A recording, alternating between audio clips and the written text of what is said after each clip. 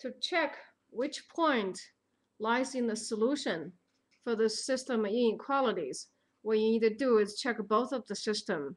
And here's how we check. We're going to grab one of the points. Let's see, um, minus x plus 2 here. Let's say we grab 1 and 6. Okay, we substitute it in there. So 6 goes for y. We put a question mark here and to say is it true that if 1 is substituted in there and then the 6 is bigger than 5. So the answer is yes. So this point does satisfy this equation, a inequality. Okay, and let's try next one. So you have 6 is here. Is it true that minus 1 plus 2? So 6 is bigger than that. So the answer is yes. Let's try again over here. So um, what I did over here is I plugged x in there and plugged y in there and I put a question mark in here. If the answer is true, then we say yes, it's a solution to that inequality.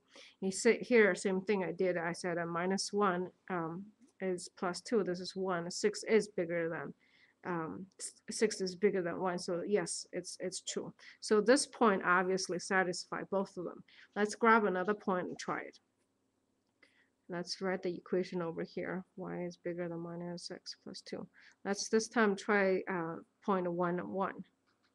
Let's try. So what we want to know is 1 is it true? This is x and this is y. So 1 plus 4. The answer is no, it's not. So therefore this point doesn't fit in there. Let's try this one. Is 1 bigger than minus 1 plus 2? The answer is no. So this point doesn't satisfy either one of them. Okay, let's try one more point. You have y is bigger than x plus 4, y is bigger than minus x plus 2. This time we'll try the point, let's see, um, minus 2 minus 1. Okay, let's try that. So this is x and this is y. y is minus 1. Is it true? Minus 1 is bigger than x plus, uh, x is minus 2. Minus 2 plus 4. So I have minus 1. Is it true? It's bigger than 2? The answer is no.